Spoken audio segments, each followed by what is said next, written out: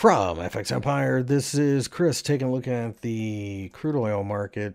Uh, and you can see that the WTI grade has just given up uh, any gains that it had during the day, basically, as we got close to 34. This looks very ugly, and if we break down below 30, we're going to enter the 20 to $30 range, which is something a lot of people have been calling for, anyways. Obvious fade the rally mentality. Same thing here in Brent, although not as bad. I would say it's held on to more of its gains. If we can break above the top of the candlestick, we could go looking to 40, maybe even try to fill the gap. Both of them are going to do the same thing, though. So if that happens, then WTI will try to fill its gap. Either way, I'm looking for an opportunity to sell, not buy. $30 would be the target.